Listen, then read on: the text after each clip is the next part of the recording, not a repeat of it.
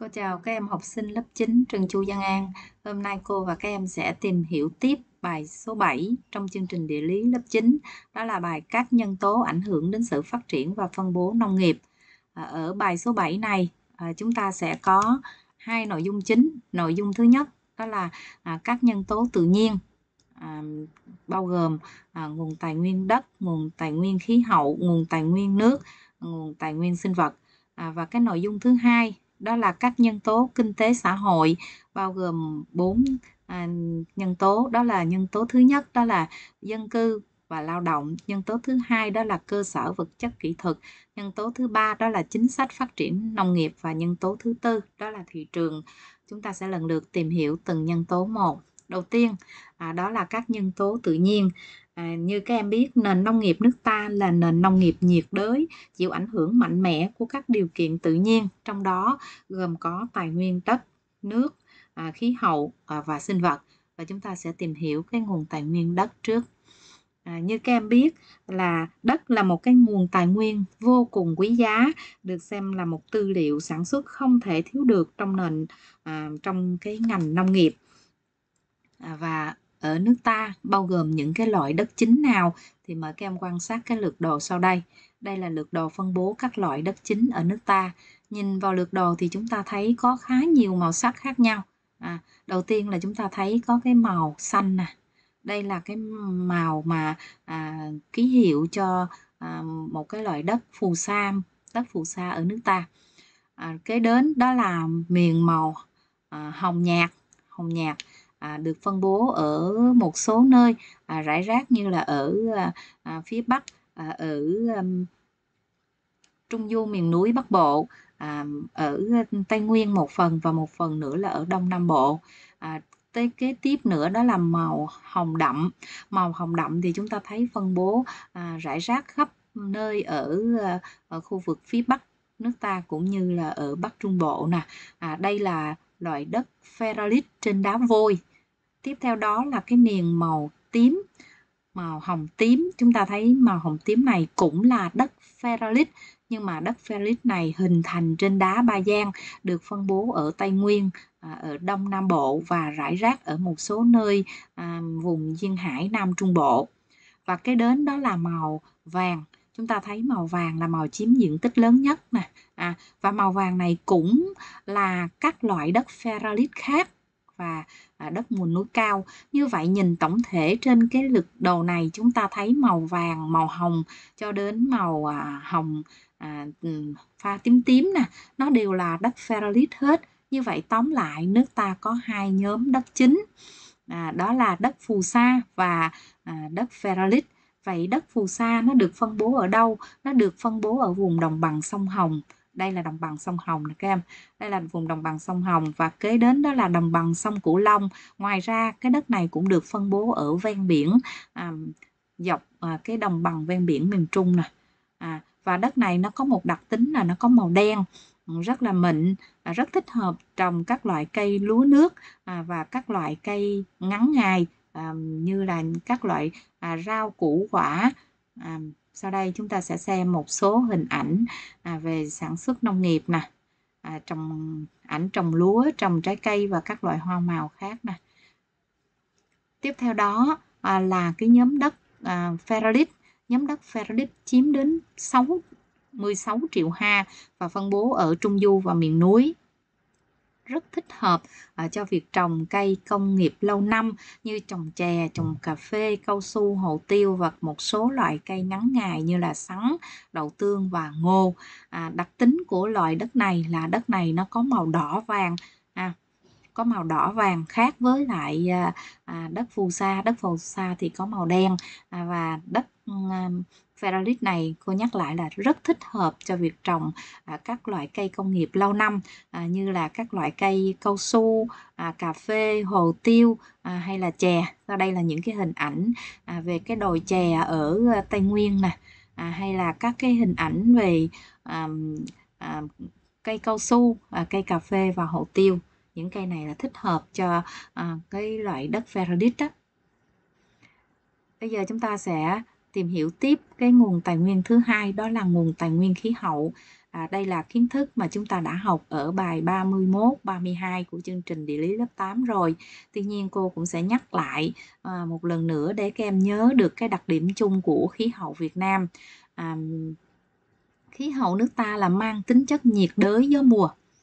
À, mang tính chất nhiệt đới gió mùa à, trong năm có hai mùa rõ rệt và đó là mùa mưa và mùa khô À, với cái nhiệt độ trung bình năm thường trên 21 độ C và cái độ ẩm không khí thường trên 80% và lượng mưa trung bình năm là từ 1.500 cho đến 2.000 à, mm trong một năm à, và trong mùa mưa thì thường là chiếm hơn 90% lượng mưa của cả năm. Đó là đặc điểm thứ nhất. Đặc điểm thứ hai là khí hậu của nước ta à, có sự à, thay đổi theo hướng từ bắc đến nam, từ à, tây sang đông, từ thấp lên cao và à, thay đổi theo mùa. Như vậy à, với cái khí hậu mà có nguồn nhiệt cũng như là à, à, nguồn ẩm phong phú như vậy sẽ tạo điều kiện cho à, nông nghiệp à, à, ngành nông nghiệp à, có thể à, phát triển quanh năm có điều kiện để đẩy mạnh thâm canh tăng vụ à, các cây ngắn ngày có thể sản xuất được từ 2 đến 3 vụ trong năm và cơ cấu mùa vụ cũng như cơ cấu cây trồng có sự khác nhau giữa các địa phương. À, ngoài những cây nhiệt đới chúng ta còn có thể trồng được các loại cây cận nhiệt và ôn đới. Nhưng mà à, bên cạnh à, những cái thuận lợi đó thì khí hậu cũng mang đến không ít những cái khó khăn. À, đó là cái đặc điểm thứ ba của khí hậu Việt Nam đó là à, khí hậu của nước ta luôn à, diễn biến thất thường có nhiều tai biến thiên nhiên xảy ra như là bão lũ lụt à, hạn hán à, giá rét sương muối vân vân. À, như vậy à, với cái khó khăn mà cô muốn nhắc đến đó là do cái nguồn nhiệt ẩm phong phú là điều kiện thuận lợi à, là cái điều kiện thuận lợi cho nhiều loại nấm mốc sâu bệnh và phát triển à, gây không ít những cái khó khăn à, cho sản xuất nông nghiệp à, có ảnh hưởng rất lớn đến năng suất cây trồng cũng như là vật nuôi cũng như chất lượng về nông sản. À, phải chi phí nhiều cho việc bảo vệ thực vật À, và tiêm chủng cũng như là phòng bệnh cho vật nuôi. À, với cái chế độ mà mưa mùa à, thường sẽ à, gây ra ngập úng vào mùa mưa còn mùa khô thì à, lại gây ra à, cái hiện tượng là khô nóng à, rất tốn kém trong việc à, phải à, xây dựng à, làm hệ thống thủy lợi.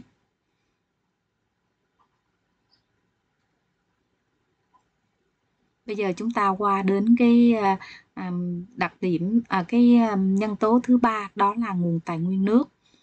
Đây cũng là kiến thức mà các em đã học ở cái chương trình địa lý lớp 8 rồi ở bài 33 34 và cô cũng nhắc lại phần kiến thức này một xíu để các em nhớ nha. À, nước ta có mạng lưới sông ngòi dày đặc. À, À, và cái mạng lưới sông ngòi ở nước ta à, phân bố rộng khắp trên lãnh thổ. Từ Bắc đến Nam có khoảng 2.360 con sông lớn nhỏ. À, đây là một cái điều kiện thuận lợi à, cho nước ta trong à, à việc à, phát triển à, cũng như là phân bố ngành nông nghiệp ở nước ta. Các cái hệ thống sông này nè nó đều có cái giá trị đáng kể về mặt thủy lợi. Bên cạnh đó nước ta còn có một cái nguồn nước ngầm khá là dồi dào. Đây là một nguồn nước tưới rất quan trọng nhất là vào mùa khô à, đối với một số vùng như là vùng tây nguyên cũng như là đông nam bộ. À, tuy nhiên à, bên cạnh những cái thuận lợi mà cô vừa nêu thì à, nguồn ờ, nước sông ở nước ta cũng gây ra không ít những cái khó khăn vào mùa lũ. Như khi nãy cô nói là à, khí hậu nước ta là à, có hai mùa rõ rệt đó là mùa mưa và mùa khô. Cái chế độ à, mưa mùa đó thường sẽ gây à, cho các sông ngòi à, với một cái lượng nước lớn sẽ dễ gây ra lũ lụt. À, nhưng mà vào mùa khô thì à, gây ra cái tình trạng thiếu nước tưới cho cây trồng. À, như vậy để khắc phục à, những cái à, khó khăn do cái nguồn nước ở nước ta à, gây nên thì à, chúng ta sẽ à, cần tăng cường làm công tác thủy lợi. Vậy tại sao thủy lợi được xem là biện pháp hàng đầu trong nông nghiệp? À, bởi vì à, chúng ta giải quyết tốt cái vấn đề thủy lợi à, sẽ đảm bảo được nước tưới cho cây trồng trong mùa khô, đồng thời sẽ chống ngập úng trong mùa mùa bão. À, việc làm tốt công tác thủy lợi cũng góp phần đẩy mạnh việc cải tạo đất, mở rộng diện tích đất canh tác cũng như tạo điều kiện thuận lợi để đẩy mạnh thâm canh tăng vụ, tăng năng suất, tăng sản lượng cây trồng và có sự chuyển đổi cơ cấu mùa vụ cũng như cơ cấu cây trồng. À, tiếp theo đây chúng ta sẽ tìm hiểu tiếp cái nguồn tài nguyên thứ tư đó là tài nguyên sinh vật. À, cái nguồn tài nguyên sinh vật có ảnh hưởng như thế nào đối với sản xuất nông nghiệp nước ta? À, nước ta có cái nguồn tài nguyên sinh vật rất phong phú. Đây là cơ sở để à, chúng ta có thể thuần dưỡng tạo ra các giống cây trồng và vật nuôi. À, nhiều giống cây trồng và vật nuôi có chất lượng thích nghi với cái điều kiện sinh thái của từng địa phương. À, đó là à, bốn yếu tố, à, bốn cái nhân tố tự nhiên à, có ảnh hưởng đến sự phát triển à, cũng như là phân bố nông nghiệp ở nước ta. Tiếp theo đó chúng ta sẽ tìm hiểu tiếp qua các nhân tố về kinh tế xã hội. Như khi nãy à, cô đã giới thiệu qua với các em các nhân tố kinh tế xã hội à, bao gồm có bốn nhân tố. Thứ nhất đó là dân cư và lao động. Thứ hai đó là cơ sở vật chất kỹ thuật. Thứ ba đó là à, chính sách phát triển nông nghiệp và thứ tư đó là thị trường. Đầu tiên chúng ta sẽ tìm hiểu cái nhân tố dân cư và lao động À, đây là cái à, kiến thức mà chúng ta mới vừa học qua từ bài 1 đến bài 4 ở tuần à, thứ nhất và tuần thứ hai. À, như chúng ta biết là Việt Nam là một nước đông dân à, đứng hàng thứ ba trên thế giới sau Indonesia và Philippines, đồng thời cũng đứng hàng thứ 15 trên thế giới. À, dân à, số nước ta ngày à, càng tăng à, và cái à, nguồn lao động nước ta à, là à, rất là dồi dào. Đây là một cái lợi thế à, cho nước ta trong cái quá trình à, phát triển kinh tế của đất nước. À, và cái nguồn lao động của nước ta mỗi một năm là tăng thêm khoảng hơn một triệu lao động. À, và cái người lao động của nước ta à, có một cái à, một cái thế mạnh. À, đó là à, luôn à, cần cù chăm chỉ à, chịu khó, có nhiều kinh nghiệm trong sản xuất nông nghiệp. Tiếp theo đây, chúng ta sẽ à, qua đến cái nhân tố thứ hai đó là các cơ sở vật chất kỹ thuật. À, nói về cơ sở vật chất kỹ thuật à, ở nước ta các cơ sở à, ngày càng được hoàn thiện à, bao gồm các cơ sở um, như sau đó là các hệ thống thủy lợi các hệ thống thủy lợi, các hệ thống dịch vụ trồng trọt, các hệ thống dịch vụ chăn nuôi. À, ngoài ra còn có các cơ sở vật chất kỹ thuật khác. À, ở đây cô nói một xíu đó là hệ thống thủy lợi.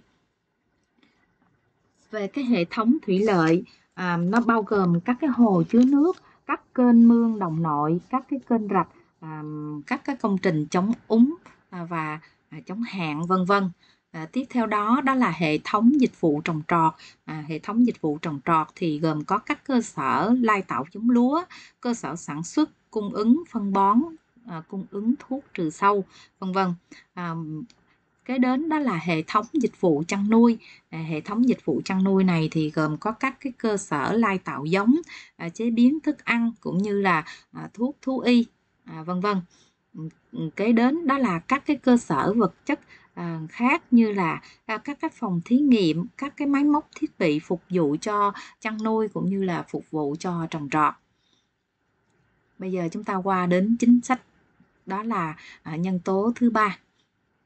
Chính sách nông nghiệp ở nước ta à, ngày càng được quan tâm và đây là cái tính chất à, đây là cái à, nhân tố mang cái tính chất quyết định nha các em.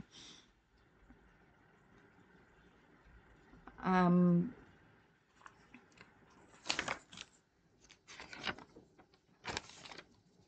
chính sách phát triển nông nghiệp ở nước ta gồm có một số những cái chính sách sau. Đó là chính sách kinh tế hộ gia đình à, chính sách à, kinh tế trang trại à, và chính sách à, nông nghiệp hướng ra xuất khẩu. Tiếp theo đó đó là à, nhân tố thứ tư là thị trường thị trường trong nước ngày càng được mở rộng à, tuy nhiên à, việc mà à, sức mua của thị trường trong nước còn hạn chế nên việc chuyển đổi cơ cấu trong nông nghiệp ở nhiều vùng còn khó khăn. À, sự biến động của thị trường xuất khẩu nhiều khi gây ảnh hưởng xấu đến sự phát triển của một số cây trồng à, quan trọng như là cà phê, cao su, rau quả hay là một số hải sản khác. À, đó là Ờ, nội dung của bài học ngày hôm nay mà cô mới vừa giới thiệu ờ, qua cho các em à, nắm. Bây giờ chúng ta sẽ cùng nhau ờ, làm một số cái bài tập để kiểm tra xem kiến thức của các em nãy giờ tiếp thu à, bài học này như thế nào ha. Ở đây cô có hai câu hỏi. Câu hỏi thứ nhất, hãy kể tên một số ngành công nghiệp chế biến nông sản ở nước ta mà em biết. Cô đọc lại câu hỏi, hãy kể tên một số ngành công nghiệp chế biến nông sản ở nước ta mà em biết. Những ngành chế biến nông sản gồm những ngành nào nè? Đầu tiên đó là ngành à, sai sát lúa gạo, à, ngành à, à, sản xuất đường, sản xuất rượu bia, sản xuất bánh ngọt à, hay là ngành à, à, chế biến à, chè, chế biến thuốc lá, cà phê hay là dầu thực vật, vân vân. Câu hỏi thứ hai, câu hỏi thứ hai này là câu hỏi uh, uh, trắc nghiệm. Trong câu hỏi thứ hai này chúng ta có hai câu hỏi nhỏ. Câu hỏi thứ nhất, nền nông nghiệp nước ta đang phát triển theo hướng sản xuất hàng hóa thể hiện ở hai chấm A. Diện tích đất canh tác không ngừng mở rộng. B. Năng suất sản lượng cây trồng, vật nuôi tăng nhanh. C. Hình thành các vùng chuyên canh gắn với công nghiệp chế biến. Và D. Việc xuất khẩu nông sản được đẩy mạnh. Cô lặp lại câu hỏi lần nữa.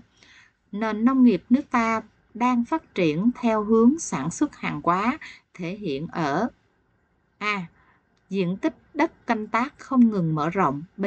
Năng suất, sản lượng cây trồng, vật nuôi tăng nhanh. C. Hình thành các vùng chuyên canh gắn với công nghiệp chế biến. Và D. Việc xuất khẩu nông sản được đẩy mạnh. Như vậy trong bốn đáp án chúng ta sẽ chọn đáp án nào là đáp án đúng nhất các em?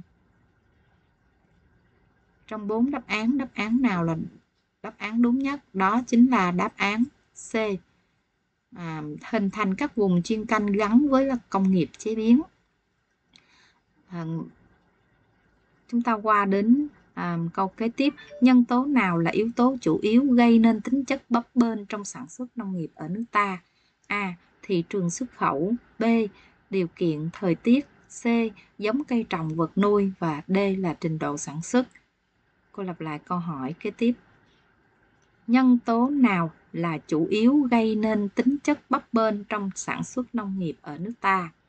A. Thị trường xuất khẩu. B. Điều kiện thời tiết. C. Giống cây trồng vật nuôi và D.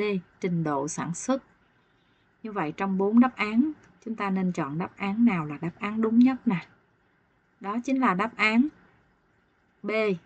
Thời điều kiện thời tiết như vậy là chúng ta đã à, cùng nhau tìm hiểu à, xong nội dung của bài thứ bảy các em về nhà à, các em sẽ học bài dựa theo các câu hỏi trong sách giáo khoa à, ở à, bài ở trang 27 á à, sau đó các em sẽ tìm hiểu à, trước cái bài số 8 à, sự phát triển và phân bố nông nghiệp cho cô nhé. Chào các em hẹn gặp các em ở à, tiết học sau các em nhé.